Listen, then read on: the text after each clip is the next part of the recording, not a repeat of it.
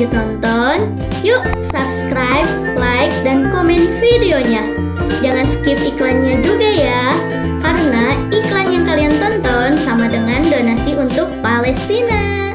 طبعا لا شك أن جاءت الفكرة التصميمية لإنشاء مسجد استقلال أندونيسيا على غرار فكرة تصميم مسجد آه، الاستقلال في جاكرتا آه، وتم إنشاء المسجد على مساحة آه، 1400 متر مربع ويعتبر من آه، أحد أكبر مساجد مدينة خان يونس في قطاع غزة. ويتكون المسجد من ثلاث طوابق ويتسع إلى 5000 مصلي.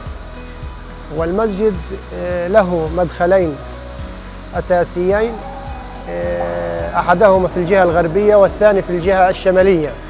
ويعتلي كل مدخل اللي هو آه، عدد اثنان من القباب آه، وأيضا له قبة رئيسية آه، بقطر عشرة أمتار وبارتفاع 14 متر وه- وهي مأخوذة من الطراز المغولي المغربي. وأيضا ال- المسجد يحتوي على مأذنة رئيسية بارتفاع 44 متر وهي من الطراز المملوكي الأندلسي والحديث.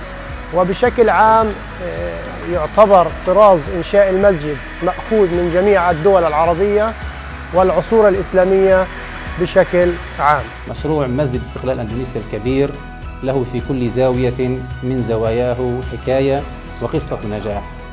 فقد تجاوزنا عقبات التمويل وعقبات التوريد وعقبات الإغلاقات المتكررة من قبل الاحتلال الإسرائيلي ونحن نحمد الله تعالى أن وصلنا إلى هذه اللحظة كسوة المسجد من الخارج بالرخام والحجر القدسي.